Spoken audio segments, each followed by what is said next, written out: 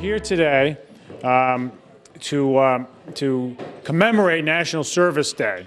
Uh, and we could do this in a lot of places in our city uh, because we have so many volunteers uh, citywide helping our fellow citizens uh, improve their lives, uh, to, make, uh, to give kids a better education, and to, and to make our, our city a better place.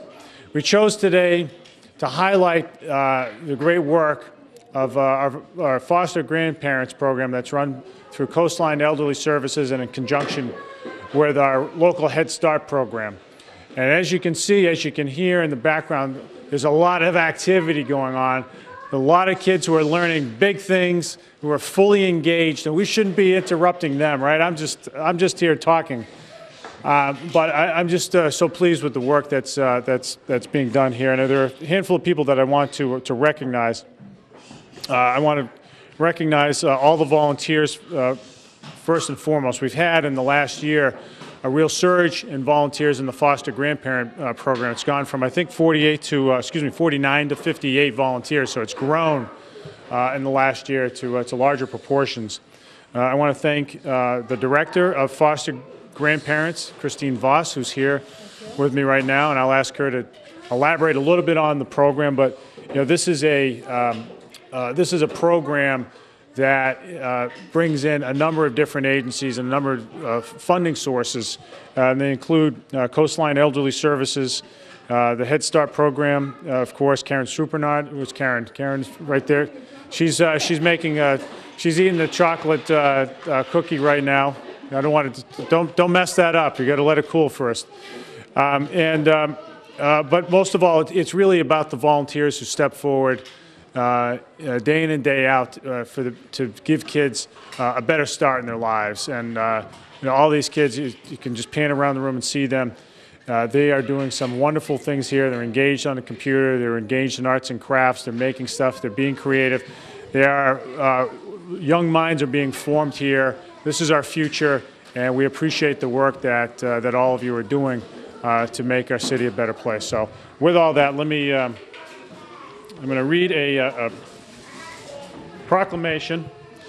So here's what it says. It says, the City of New Bedford hereby offers its sincerest congratulations to Coastline uh, Elderly Services as well as uh, Head Start um, in recognition of the Foster Grandparent Program New Bedford has 58 dedicated National Service volunteers engaged in local elementary schools, early learning centers, PACE Head Start, the Special Needs Center, and after-school sites, and a behavioral health center, all making, uh, all making uh, our kids get off to a faster start in life and really giving them the foundation they need to succeed. So I just, Christine, I'm going to give you this, but I know it's, uh, it really is to everybody here who's doing all, all really the, the, the, great work of uh, uh, of this program. So thank you so much. Thank you very much, Mayor.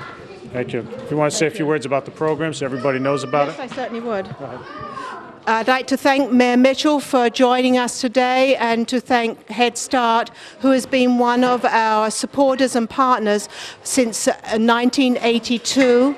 This is a phenomenal program where we provide the boys and girls of New Bedford and the surrounding communities the opportunity to interact with another adult in the classroom. As you see, and I'm sure you can hear, it is a very busy classroom, and we have three foster grandparents who have been with us for a long time. We have Grandma Diane, Grandma Louise, and Grandma Ellie, and they are one of 58 volunteers who donate over 60,000 hours a year.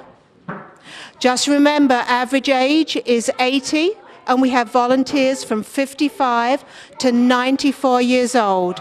And they give of their time, their love, their attention to the boys and girls, preschool through to elementary, one-on-one interaction and I am very proud to be associated with Head Start who joined us at the same time that Coastline became a sponsor to the program and to celebrate Mayor's Day with Mayor Mitchell this is the second annual celebration last year there were 600 mayors across the US this year there were over 1,500.